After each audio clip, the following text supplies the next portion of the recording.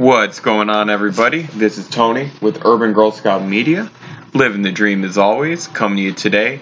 Uh, gonna talk a little bit of this Ultimate Masters announcement. Um, kind of a good, good time here at the channel for for a little more Magic the Gathering. Uh, recently opened a box of Guilds of Ravnica that we won through a raffle and now we're going to talk about this Ultimate Masters box topper BS.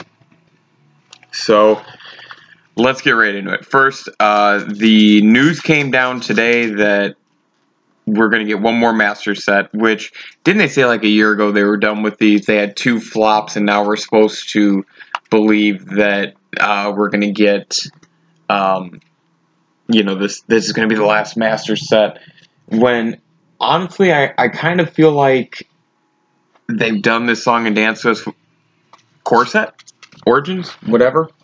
So let's let's not ignore the obvious there. Um, so here's the details we have. First off is 254 cards 24 cards per box 15 card packs nothing out of the unusual there.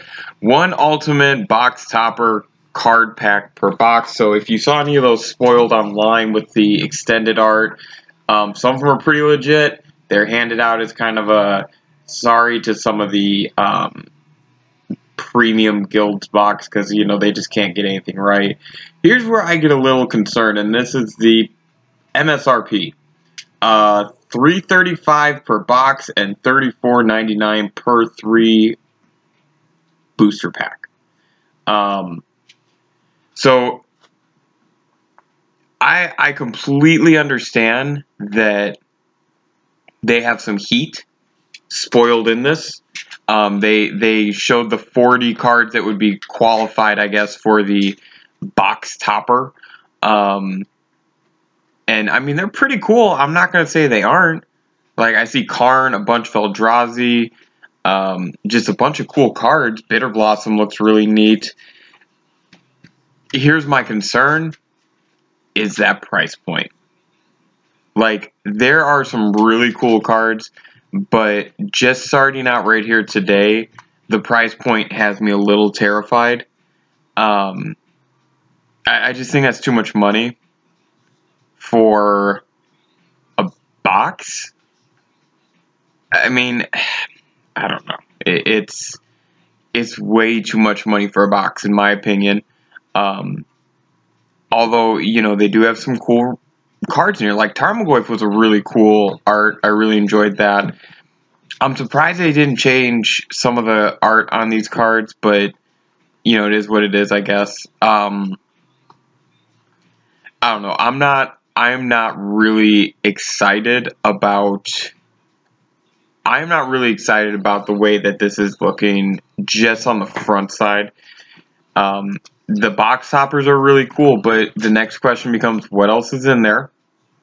And what are you going to do in place of it? Like, like we're getting down to the end here, and I'm looking at some of the man lands. Like, I'd be super butthurt if I pulled a Stirring Wildwood. Sorry, that's I mean that's not even that good of that's not even that pricey of a card. So I don't know. We need more information. We need more spoils. Um, we need more information. That it's that simple. Information is power right now, but the price point for the box does not make me feel this is going to be a good investment.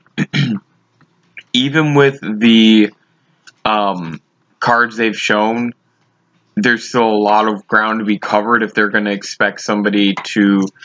I just don't see the average Magic player saying they want to spend 14 bucks a pack. 13, 14 bucks a pack, some some shit like that. Like, um, it, it's gonna be. I mean, because stores are gonna have to have a little bit of an inflate, taxes, everything else. It's just gonna be too much for these packs. Um, so the pressure's on, but first look, the rares are great. The price scares me. Um, like I said, we're 40 cards in. I don't know. I like I said, that price point is just a little it's a little bit outside of what I'm comfortable with to pay for a box. And again, I'm kind of scrolling through here as I talk on this video. Um, and I'm looking at it, you know, we have Karn, we have we have the big Eldrazi on there, Snapcaster, uh, Temporal Manipulation, Bitter Blossom, Demonic Tutor, uh, Goryo's Vengeance, Lily of the Veil, Mikaeus the Unhallowed. I mean, there's some there's some good cards. Tasigur, the Golden Fang. Uh, don't really care. It's cool art.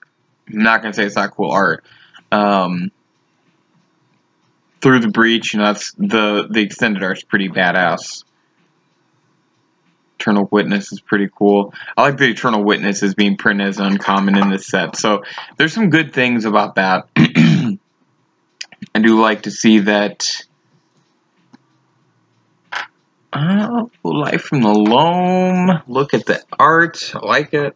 Um, kept it at a rare. So, you know, it's going to be interesting to see kind of what they do. I see they have Noble Hierarch printed at rare. Um, Goyf is at the Mythic. Vengevines at the Mythic. Gaddock Teegs at rare. So even the rarity of some of these cards is going to be important. And again, if this is truly the last master set, ooh, they kept Kitchen Finks at an uncommon, that's value. That is value right there. They're keeping that at an uncommon. Engineer Explosive, still a rare. Mana Vault. Um, you know, it's going to be interesting to see how they continue to do these um, reprints because they have they have a lot of ground to cover. I mean, they have a lot of ground to cover. Ancient Tomb, Cavern of Souls. I mean, like I said, some cards in here. The Dark Depth that'll be fun. Um, Karakas was going up in price, and that's that's an important piece of um, Legacy's Death and Taxes. So that'll be good to keep. And then Urborg, that'll be a good card. I like that full art. So I'm mean, just kind of looking through the full art. I'd already seen the list of cards that were on here, but I wanted to see the full art. A few of them I would love to get. Um, but yeah, so tell me what you guys think. I, I personally think that this is going to be a much better Master set than the last two we got. Um, Iconic and Masters 25. I think it's going to be a lot better than that, so I'm not worried there. What I am worried about is, like I said, and I think I've said it a bunch of times now, that price point. So let's get some more information. We have about a month until release of this product, uh, just in time for the holiday season. And really, um, you know, some of us are going to be telling our loved ones, hey, if you love me enough, buy me a box. So, I mean, what if six family members put down 50 bucks? Well, that's still pretty expensive, so I don't know. We'll figure it out. Um, but yeah, you gotta figure out the math, figure out what each person's willing to spend on you. Tell them you want that towards the box. I mean, maybe that's how you do it. I don't know. I might have to take out a personal loan for this, um, and it does look like it's going to be a, potentially just at the start, just at the start here. This looks like a good buy and store box. Like I'm sure it'll be fun to open and all those other things, but this looks like a box that is going to be a buy it, store it, see it later. So that's my take. Uh, tell me what you guys think. Again, my name is Tony. This is Urban Girl Scout Media. We're living the dream as always.